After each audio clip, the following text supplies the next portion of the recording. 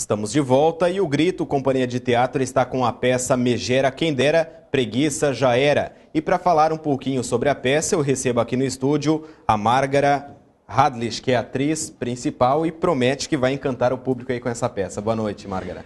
Boa noite. Márgara, conta um pouquinho para a gente o que, que é a história dessa peça. Fala sobre o quê? Primeiro eu vou falar da companhia. A companhia O Grito é uma companhia que está completando 11 anos de existência em Blumenau. É, essa peça foi a peça que, em 2002, é, abriu os trabalhos da, da Companhia Teatro Grito, que é dirigida pelo Leandro de Assis, que é uma pessoa extremamente competente em tudo que ele faz. Até estava conversando com o Pimpão antes aqui, nas coxias, e ele me falou, ele disse, nossa, ele foi para o Rio, eu lembro dessa história, enfim. É, para comemorar os, os 11 anos da companhia, nós escolhemos essa peça, que é um teatro man baby, né? que é aquela trupe que chega na cidade dentro de uma carroça, que nós temos a carroça no cenário, inclusive, é, e abre suas portas e ali faz seu espetáculo. É um espetáculo lindo, lúdico, é, adulto, porém é, crianças se encantam com o espetáculo. Eu Isso é te perguntar, é, é para que público é essa peça? É, é, é, por força da lei, nós temos que colocar é, 14 anos, né? a idade limite de 14 anos. Porém, logicamente que nenhuma criança fica de fora, chega com os pais, e elas se encantam, isso acontece em todos os lugares que nós estivemos, e em todos os espetáculos apresentados. A história que você me perguntou é de dois moços, dois moços mancebos, pobres, né?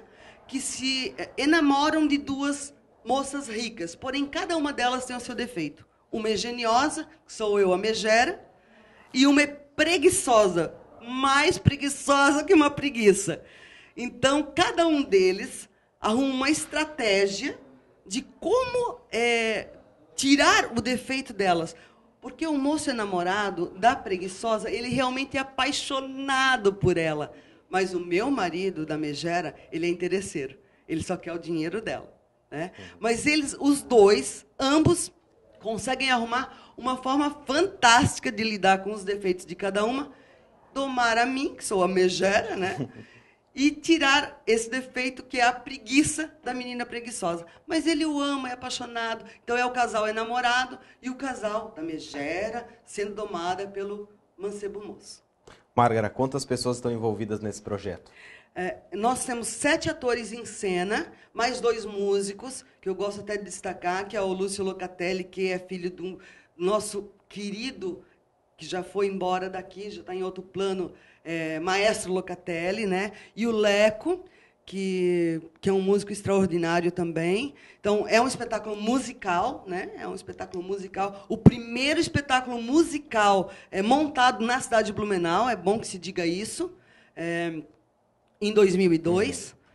E tivemos a honra também, a Companhia o Grito, de abrir o auditório é, do, da Fundação Cultural. Então, assim, gente, é, é, muita coisa. Nós já trouxemos tantos prêmios para essa cidade.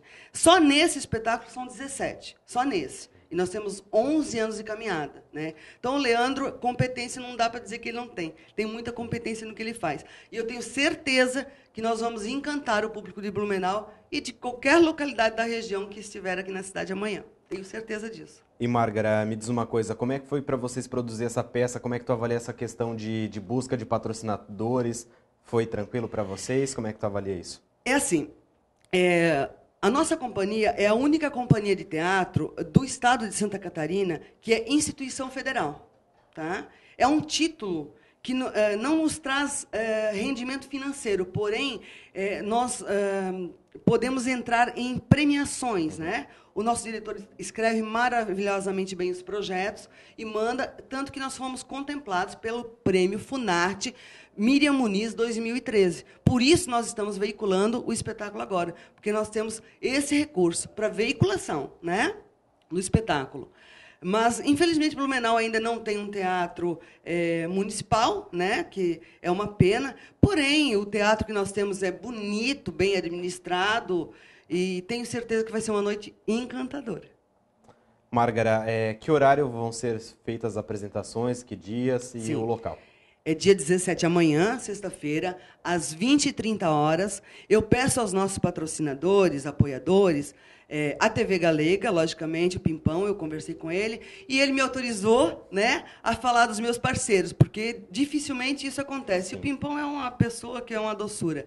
Então, eles, não, pode falar, não tem problema. Então, assim, eu quero agradecer, a, a, em primeiro lugar, a TV Galega, que eu estou aqui usando o espaço para falar do nosso trabalho, a RIC Record, que nos deu um grande espaço também, é, em todas as chamadas durante a semana, ao vivo, a gente fez programas hoje, enfim, é, foi muito bom a parceria deles. A Funarte, né, que nos concedeu essa premiação Miriam Muniz, que foi muito importante. Aliás, ela foi fundamental, porque senão nós não estaríamos é, veiculando e, com o espetáculo. É, a Teonac Global, que é uma empresa paraguaia, que nós buscamos as maquiagens, porque usa muita maquiagem nesse espetáculo, né?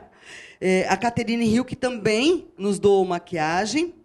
O Colégio Pedro II, ele nos dá o espaço durante todo o tempo para guardar todo o nosso figurino, todos os adereços e a carroça, que ela pesa quase uma tonelada. Então, assim, é, um, é uma sala enorme e todo o espaço também para que nós possamos fazer os nossos ensaios. Então, é primordial isso, né? Sem esse espaço, como que a gente poderia trabalhar, né? E a TRMX Odontologia, que também nos ajudou muito, que fica, ah, ela fica dentro do Sindicato Têxtil, da Mariana, querida Mariana Vanessa Usher, beijo para vocês, obrigada. Construcolor do Oda, lá do Garcia, ai, amado, nos deu todas as tintas para a gente poder reconstruir a carroça, fazer ela de novo bonita e brilhar novamente. Casa Bittencourt nos doou, nos doou os tecidos para tornar a carroça um pouco mais leve. Tecnofogos doou todos os balões, porque se o público olhar de perto, as nossas todas, todas as cabeças, todas as perucas são feitas de balões. E quem nos deu esses balões foi a Tecnofogos. Então, eu também agradeço. Um beijo para vocês. Que Deus abençoe. É, a FECAT, né? Então, são esses parceiros, e sem eles não seria possível fazer teatro. Porque o fazer teatro já é difícil no nosso país, isso é, uma, é notório, né? Fazer arte, seja ela qual for, já é difícil. Então, nós precisamos desses apoiadores. E Blumenau tem nos acolhido bem nesse sentido. As empresas elas têm essa sensibilidade de, de saber que a arte é educadora, que a arte não é só para ir lá se divertir, não, ela educa. Né? O Colégio Sagrada Família nos colocou no site é, é, pedindo para que os alunos fossem, que valia, valeria até nota. Então, assim, é notório isso. E essa sensibilidade a gente encontra, graças a Deus, tem muita gente boa que nos abraça e nos acolhe. Márgara, para fechar, tem custo o ingresso ou é gratuito? Não, entrada franca. Chega lá, porta aberta, porta aberta. Eu peço só aos parceiros e esses patrocinadores que eu falei aqui, que chegue pelo menos 15 minutinhos antes, porque eles vão aos camarotes, uhum. né? Reservados a eles. Então eu preciso de 15 minutos, pelo menos, para que o, a pessoa da contrarregra, que é o Adalberto, Selbert, nosso contrarregrista, que ele conduza os patrocinadores até, até os camarotes. Só isso, mas todo mundo, todo mundo, todo mundo, porta aberta. É só chegar lá e entrar. E vai ganhar esse material lindo aqui, que foi muito bem feito. É, fui até elogiada pelo Pimpão, que realmente muito bem feito o material, que é o programa do nosso espetáculo. Perfeito. Márgara, obrigado pela tua participação e boa sorte com esse. Eu que agradeço. Deus abençoe a vocês. Deus abençoe a todos em casa. E vamos ao teatro!